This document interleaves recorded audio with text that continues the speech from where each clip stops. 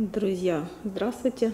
Сегодня 12 декабря, и у меня снова цветут совершенно другие орхидеи, чем, например, в ноябре. А, что у меня распустилось? Ну, начнем, наверное, а, справа налево, потому что лево я хочу закончить интересной котлеей. Ну, сейчас по порядку.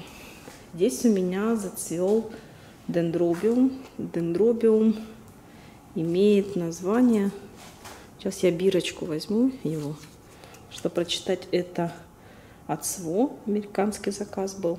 Вот такой вот дендробиум. В общем, три года он у меня не цвел, получала я вообще вот такими маленькими туберами, э, типа мини. Ну, он считается, конечно, мини, потому что специозом он достаточно очень крупный дендер, он в раз 6 больше него. И этот дендер у меня зацвел. Не поверила своему счастью потому что ну, столько вот вроде ростов растил, и все-таки решился. Цветочек получился очень красивый. Наверное, как я говорю, стоило его ждать. Именно тот краб, а представляете, распустится веточка, будет очень красивая фотография. Да и сам он, вот этот вот краб, за что и любят вот такие гибриды. Не ароматный, мне не пахнет. Попробую подвинуть его.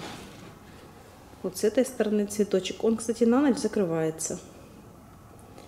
Дальше у меня здесь котлея персивалиана. Тоже три года ждала. Очень красивая. Внешне вот этот цветок имеет практически округлую форму. Такая интересная губа. Полностью рюша окружает. Но есть один минус. Она не очень приятно пахнет. Пахнет, э, есть какой-то даже фрукт. Помню, в Таиланде как-то похож запах был. И вот он так неприятно пах. Ну, конечно, она красивая. Что тут сказать? Вот эти вот круглые туберы у нее. Посажена у меня в архиате. То, что было черное, это была бактериалка. Еще по самому началу. И, ну, вылечила, в итоге следующие листики чистые растут. Дальше здесь у меня счастье Дуриган Афродита. Афродита имеет компактный размер относительно там вот Геркулеса, там еще выше. А, она такая имеет крупный, не крупный, а кругловатый цветок. А губа у нее похожа как у аквариуса, то есть более прижата к верхней части. Но такая кругленькая, хорошенькая. Прям ей название точное дали. Афродита. Так. Красотуля. Так, ну пока я не прошла мимо, здесь у меня Биолара Тахома Глейсер очень известный гибрид. Он раньше продавался а, в Голландии. Сейчас его он тоже выращивают массово. Крупный цветок сантиметров, наверное, 13. И вот эта ветка на фоне, да, даже котлей, котлей тоже не маленькие, это очень крупное растение. Здесь дальше у меня красавец Дориган Крузейра до Сол. Вот от него бирочка. Вот она. Так. Попробую. Да, вот он сейчас набрал цвет, потому что он распускался практически зеленый. И сейчас вот приобрелась эта розовинка. Он выдал на цветоносе 4 цветка.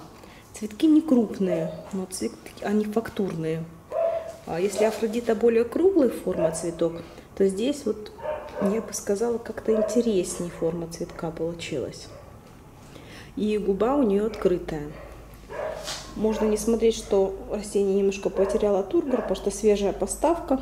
Корни уже пошли рост. Что тут у нас? Попробую выкопать. Вот они. Вот они, вот они. Да. Корешочки. Корешочки хорошие. Внутри архиата посажено. Сверху подушка СМХ.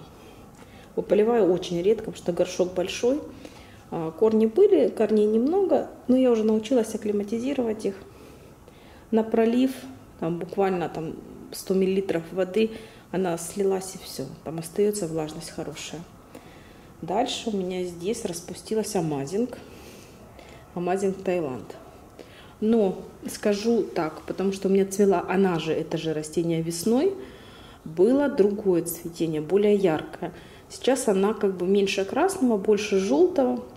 И тогда вот эти вот э, становились белыми, здесь ярко-желтое, и здесь вот красные четкие линии появлялись. Сейчас не очень солнечно, поэтому и цветок такой более желтый.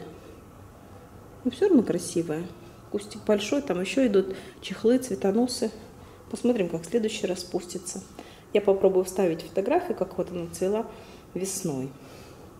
Ну, здесь дальше у меня все цветет дендробиум фаленопсис, крупный, цветковый.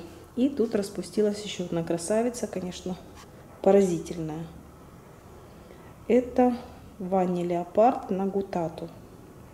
У поставщика она э, ярко-оранжевая, у меня немножко более коричневат, коричневатый фон распустился. Но если вот я подставлю руку, это крупный цветок, почти пластиковый. Даже дуриганы не такие пластиковые, как этот. Очень ароматная. Мне, конечно, то, что приятно пахнет, мне все, все пахнет розами. Тоже распустилось 4 цветка. Красавица. Очень удачный гибрид. Странно, что ему еще название не дали. Но думаю, скоро дадут.